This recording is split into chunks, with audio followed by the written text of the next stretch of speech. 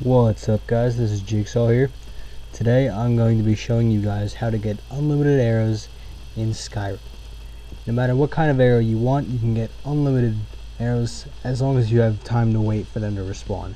So all you need to do is you need to come here to Solitude. Solitude's in the top left of the map. Once you enter Solitude, just go ahead and walk this way.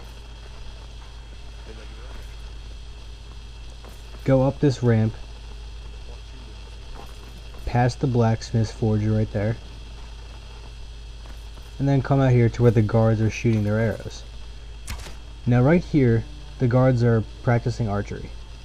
You can pick up an unlimited surprise or unlimited supply of uh, steel arrows. Steel arrows, they're alright, they're nothing special though. So I think what I would rather have is an unlimited supply of Daedric arrows.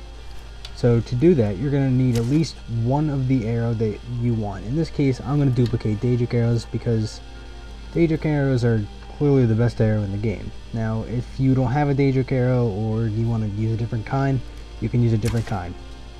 But what you're going to do is go ahead and, and go into sneak mode and plant at least just one of the arrows. Just plant one of the arrows on the guard who's shooting the bow. Then what you're going to go ahead and do is you're just going to wait. Wait until it's nighttime, so past at least past 8 p.m. But somewhere in the middle of the night would be better. After you've waited, go ahead and walk into the castle door right here. Once inside the castle door, go forward, hang a right, walk down these steps, and then hang another left. Here's the guard's chambers. Search all the guards who were sleeping, and look for the one with the Daedric arrow, or the same kind of arrow that you planted on the guard. Now you're going to take his steel arrows that he's been shooting with.